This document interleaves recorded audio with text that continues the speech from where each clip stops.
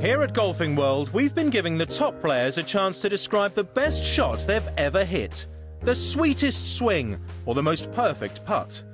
Young Californian David Lipsky secured his first win on the European Tour at Crans, Montana this year. He's torn between a couple of special moments. It honestly comes down to two shots, and both are probably at Crans, where I won um, where the eagle on seven, where I almost you know made a double eagle on the that that hole, and that and uh, the chip on the playoff, where I almost uh, right to lock it up, hit to three feet, two feet. So um, comes down between those two, and I honestly couldn't pick between them, but they're both really special. The wind was a little off the left there, and I was just trying to hit a high draw to hold it up against it.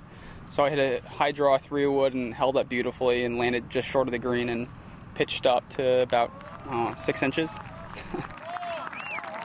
to be honest, I mean, uh, I didn't know how close it was when I uh, first hit it, and I heard cheers, and I just assumed it was on the green, just another good shot. So when I walked up there and saw how close it was, pretty awesome. After having to go back up the 18th for a playoff with Graeme Storm, David found himself in trouble in the sand. I hadn't set myself up great. I put in the bunker off the tee, and I didn't think I could uh, hit the shot under pressure over the water, you know, from the bunker. It was tough shot, so I laid it up, and I caught a decent line in the rough, but you know, it's still a hard shot. I hit it over water, and I had water behind the pin, so I just hit a high flop and landed perfectly and trickled out to a couple feet.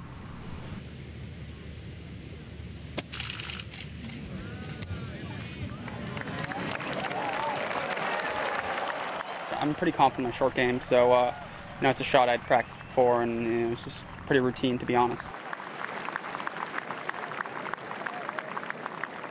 I couldn't feel my hands or my arms when I hit the putt. You know, I sort of forgot what to do with them. So uh, I'm just happy the ball got went in the hole.